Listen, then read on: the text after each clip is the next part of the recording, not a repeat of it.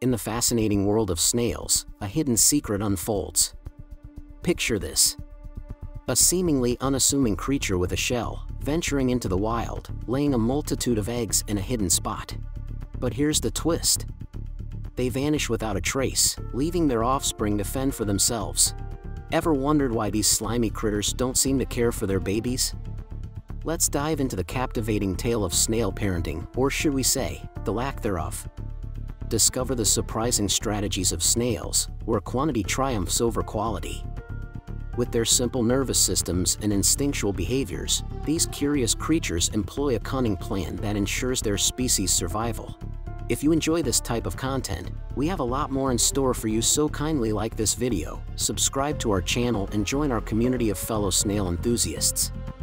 Snails, like many other invertebrates, have a different approach to parental care compared to mammals or birds. While it might appear that snails don't care for their offspring, they do exhibit a form of reproductive investment that suits their biological characteristics. One reason snails are often perceived as not caring for their babies is because they typically lay a large number of eggs and then leave them to develop on their own. This strategy is known as R-selection, where the goal is to produce a high number of offspring with little investment in individual care. Once the eggs hatch, the young snails are typically independent and capable of fending for themselves. By producing numerous eggs, snails increase the chances that at least some of their offspring will survive. Once snail eggs are laid, they are usually deposited in a protected location, such as in the soil or in a moist area, to provide some level of environmental protection. However, after the eggs are laid, snails generally do not engage in direct care for their offspring. They do not feed or provide any form of parental guidance.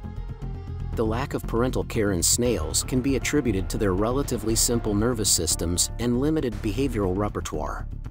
Snails have a relatively low level of cognitive complexity compared to mammals or birds, and their behaviors are primarily driven by instinct and basic sensory stimuli.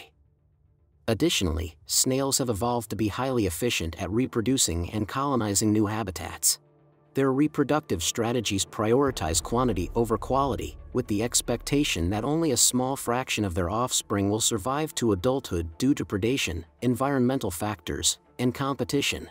It's important to note that while snails do not provide parental care in the traditional sense, they still invest energy in the production and development of their eggs the snail's body provides the necessary resources and nutrients for the eggs to develop, and this can be considered a form of indirect care. If you'll love to learn more about snails, click on the playlist link displayed in the comment section below. Thank you for watching this video. If you enjoyed it, kindly like, share and subscribe to this channel.